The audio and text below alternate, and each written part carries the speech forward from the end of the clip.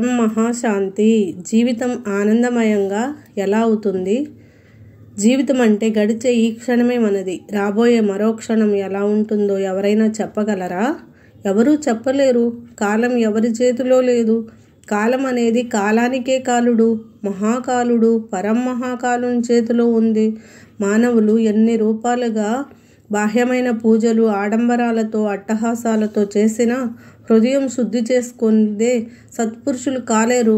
మనిషిలోని చెడు గుణములను పూర్తిగా తొలగించుకోనంత వరకు ఎన్ని పూజలు జప తప ధ్యానాలు చేసినా ప్రయోజనం ఉండదు.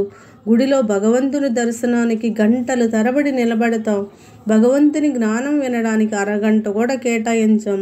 విగ్రహాన్ని దర్శిస్తేనే ఆనందం కలిగితే మరి భగవంతుని జ్ఞానం వింటే సదా పరమానందమే అవ్యక్త రూపంలో ఆయన ఒడిలో కూర్చోవచ్చు. ఎందుకంటే భగవంతుడికి కావాల్సింది మన అనన్యమైన ప్రేమ.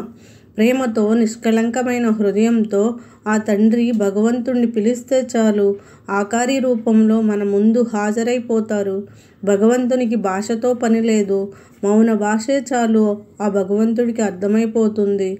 మనసులో విషయాలు కూడా ఆ భగవంతుడు అర్థం చేసుకుంటారు. నేను ఒక ఆత్మను అని భావించకుండా ఈ శరీరమే నేను అనే భ్రాంతితో ఉన్నంతకాలం ఏ ఆనందమైన పరమానందమైన ఎలా లభిస్తుంది? లభించదు కదా? ఎందుకంటే ఆత్మిక స్థితిలో అనంత అనంతమైన పరమానందం వస్తుంది.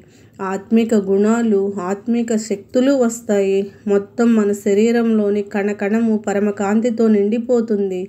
పరం ప్రకాశ కిరణాలు మన నుండి ఈ విశ్వమంతా వ్యాపి వ్యాపిస్తాయి. వాయుమండలమంతా మారిపోతుంది. పరమతత్వాలుగా అయిపోతుంది. దేహాభిమానంలో ఉంటే కామక్రోధ లోభ మోహ అహంకారాల చెడు తరంగాలు వ్యాపిస్తాయి. వాయుమండలం చెడుతో నిండిపోతుంది. అప్పుడు ఈ విశ్వం ఎలా మారుతుంది? మారదు కదా. కాబట్టి ఎవరు చేస్తున్నారో చేయటం లేదో ఇవన్నీ మనం ఆలోచించకుండా మనం చేద్దాం. ఇదే సత్యమైన ఆత్మిక సేవ. భగవంతుడికి మనం చేసే నిస్వార్థమైన సేవ. నల్లని బొగ్గు అగ్నితో చేరినప్పుడు ఎర్రని కాంతితో ప్రకాశిస్తుంది. అలాగే మన ఆత్మ కూడా భగవంతుడనే పరమలైట్ అగ్నితో ధ్యానం యోగం చేస్తే మన ఆత్మ కూడా పరం ప్రకాశంతో మెరిసిపోతుంది. భూమిలో కాలిన ఆ బొగ్గే వజ్రంలాగా కూడా తయారవుతుంది. అలాగే మన ఆత్మ కూడా వజ్రంలాగా మచ్చలేని వజ్రంలాగా మెరిసిపోతుంది. మన హృదయంలో చేరిన దుర్గుణములు పోవాలి అంటే సత్యాతి సత్యమైన భగవంతుని జ్ఞానం పొందాలి. సత్పురుషుల సాంగత్యంలో ఉంటూ మన ఆత్మను మనం ఉద్ధరించుకోవాలి. దీనికోసం సత్సంగం చాలా అవసరం. ఆధ్యాత్మిక జ్ఞాన చర్చ వలన మన అంతరాత్మను పరమాత్ముడైన ఆ భగవంతుని వైపు ప్రయాణింపచేస్తూ అతీంద్రియ సుఖాన్ని అపరిమితమైన బ్రహ్మానందాన్ని అనుభవించవచ్చు. సత్సంగం వల్ల మానవులు సంస్కరించబడి సద్బుద్ధితో సత్పురుషులుగా మారిపోతారు. ఎవరైతే నిత్యము ఆధ్యాత్మిక జ్ఞాన యోగ సాధనతో గడుపుతారో వారు ప్రతి క్షణం ప్రతినిత్యం పరం మహాశాంతిగా ప్రసన్నచిత్తంగా ఉంటారు. నిర్భయులుగా నిర్మోహిగా నిత్యము నిత్యానంద స్థితిలో ఉంటారు. చింత అనేదే వారి చెంతకు దరి చేరనే చేరదు. ఇలా ఉండే వారి జీవితం ఆనందంగా వీరు ఉండే ప్రదేశం ఆనంద నిలయంగా అయిపోతుంది. ప్రతి క్షణం భగవంతుని స్మృతిలో ఉండేవారికి ఆనందమే ఆనందం జ్ఞానస్వరూప ఆనందం కలుగుతుంది.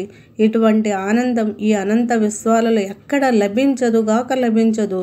ఇప్పుడు చెప్పండి అసలు ఆనందానికి మించిన ఔషధం ఏముంటుంది? దీనికోసం మనం ఒక్క పైసా కూడా ఖర్చు పెట్టనవసరం లేదు. భగవంతుని ప్రేమ అందరికీ ఉచితమే. ఎవరికి ఎంత కావాలో అంత ప్రేమతో స్మృతి చేస్తే చాలు. చెక్కు చెదరని పరిపూర్ణమైన అమరానందం మన సొంతం అవుతుంది. ఆనందానికి మించిన ధనధాన్యాలు ఏమీ ఉంటాయి? ఆనందం కోసమే కదా ఆగకుండా మనుషులు పరుగులు పెడుతున్నారు. కాబట్టి మనకు పరుగులు తీసే పని లేకుండా భగవంతుని ఒడిలో అనంత అనంతమైన ఆనందాన్ని పొందుతూ అమరంగా పరం మహాశాంతిగా అయిపోదామా? పరం మహాశాంతి. పరం మహాశాంతి జీవితం ఆనందమయంగా ఎలా అవుతుంది? జీవితం అంటే గడిచే ఈ క్షణమే మనది. రాబోయే మరో క్షణం ఎలా ఉంటుందో ఎవరైనా చెప్పగలరా? ఎవరూ చెప్పలేరు. కాలం ఎవరి చేతులు